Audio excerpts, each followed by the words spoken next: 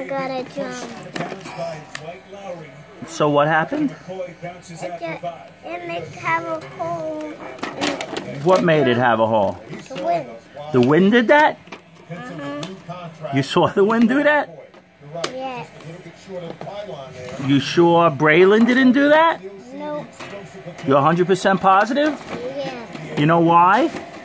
Because I just talked to the wind, Yeah. and the wind wasn't out there. The wind told me that Braelynn did it. I didn't do it. I didn't do it. So you're saying the wind is fibbing to Daddy? Yeah.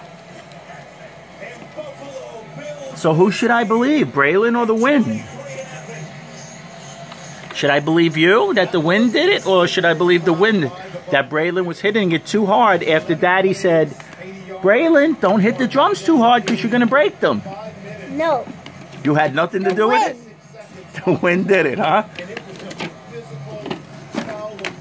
What if I look on the camera outside and the camera shows me that you were hitting it? Then what? Then will you change your story? You want to just tell Daddy really what happened? Because you know it's okay. You know it's okay, honey. Daddy will just go buy another one. Just tell Daddy what happened. I point the white shovel that we're guarding. Then the rip, the the wind make it have a hole and it ripped.